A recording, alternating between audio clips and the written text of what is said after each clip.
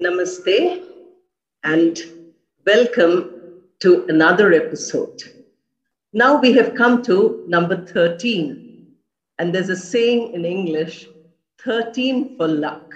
I hope all of your luck in self improvement is huge now, and week by week you're practicing all this. It is for me very easy to speak and tell you my ideas, but to implement those ideas, you have to work very hard. That work I cannot do for you. Nobody can do for you. Swami Sri Kantanandaji has great hopes that all of you will work very hard. Today, the topic which I have chosen is mental strength. Mental strength especially during this pandemic, has become a rare commodity. We know that the virus is attacking the physical body and it is creating an illness. But those who are not affected physically by the virus also are facing terrible mental issues. So, what we require in this pandemic, apart from oxygen and all the medicines and good rest and good food, we require mental strength. Mental strength is going to solve a lot of problems. And that is what we need to practice. Not only youth, but even people who are at different ages in their life, different levels of maturity in their life. We all need to, together and individually, work towards mental strength. Why am I saying that mental strength is so important? That is because sometimes our mind becomes our own enemy. Our mind creates problems for us and it takes away the strength and makes us very weak mentally. So it is not necessarily external things that give us mental weakness or mental strength. Most often, it is something internal. Whenever I speak to youngsters, many, many youth who are coming these days for counseling to VIHE Hyderabad, I find that their own problem is that they think too much and they don't orient those thoughts, they don't balance those thoughts they accept everything.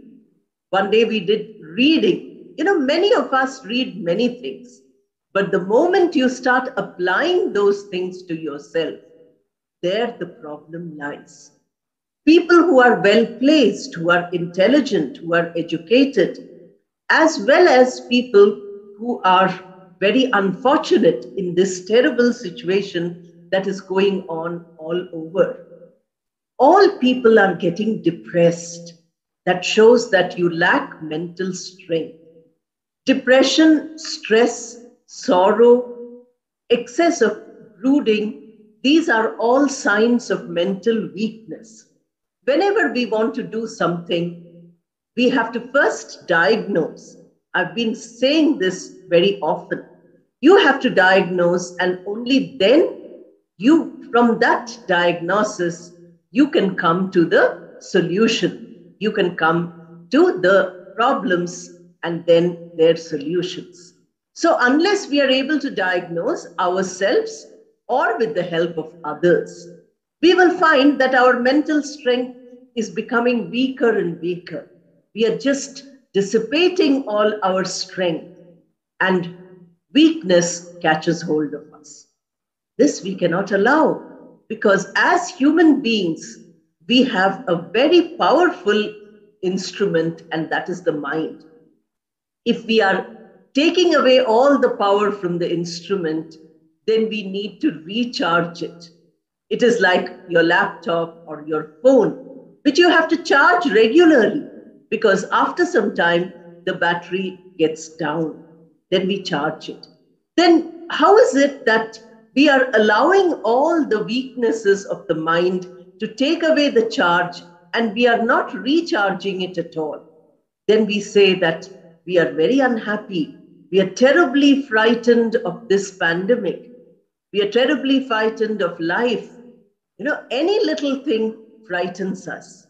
So, what we require to overcome that fear is mental strength. So, you have to see the lives of great people. You will find that any achievement is dependent on mental strength. You look at the scientists, you look at the sports persons, and of course, you look at the great spiritual giants of the world. All of them have achieved something due to their mental strength. Without mental strength, you cannot succeed. Just imagine when people showed Gautam Buddha the dead body or the old age or the suffering of the poor, he did not get depressed and say, okay, I can do nothing. He used his mental strength to renounce everything. It must have been so difficult for him. People very often sympathize with the, pe- the persons he left behind. But many people don't sympathize with him. Imagine what it requires for a prince to give up the entire life as he knows it and go in search of the solution to this problem of old age and death and suffering. That is what makes him the great Lord Buddha, because he had mental strength. All his achievements come because of his mental strength. Look at the story of Lord Jesus Christ. He's suffering intensely because he, his living body has been nailed to the cross. But he does not lose his mental strength. Physical suffering does not make his strength less. He says, Father, forgive them because they do not know what they are doing. Those who are torturing me, I don't want to curse them.